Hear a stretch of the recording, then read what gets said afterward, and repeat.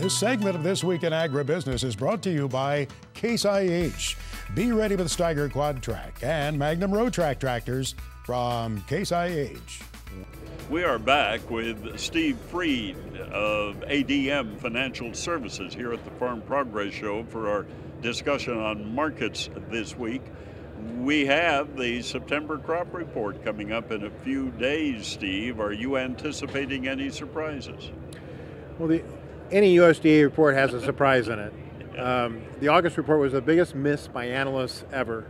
And so obviously the analysts hope that the numbers come out a little bit lower. Uh, but usually the September numbers don't change a lot because they haven't got into the harvest data yet. Um, where the harvest data is, there's some areas that the corn is really good and, and might be a little bit better than what they were saying. Uh, but they don't have any new soybean data than they had before. I guess the market is anticipating that maybe the bean yield is going to be, when it's all said and done, down a bushel, and maybe the corn yield is going to be down maybe three bushels.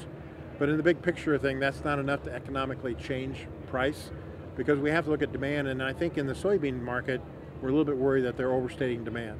Um, in corn, we might actually see less acres planted in South America this year, and so we could actually buy some demand uh, down the road, and, and that might help the corn market after the first of the year.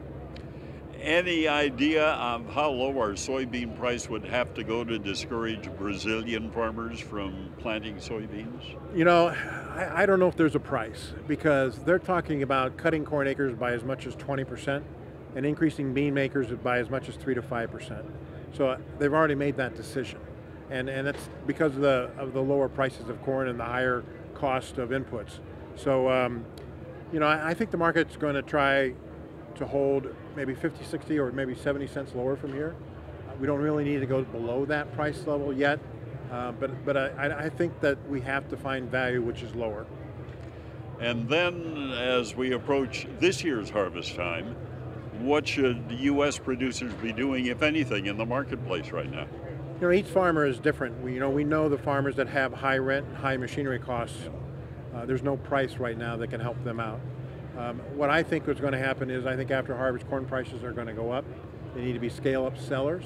Uh, they maybe buy some calls uh, to take advantage of that. Uh, I think right now the soybean prices might go down, so then maybe they should buy some put options to protect against the prices going down. After the first of the year, we'll see what Mother Nature has in store for us next year.